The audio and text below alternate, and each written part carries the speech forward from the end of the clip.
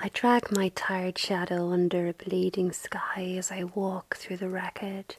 In my pocket, shreds of memory and a handful of snow, prophecies crucified on battered walls.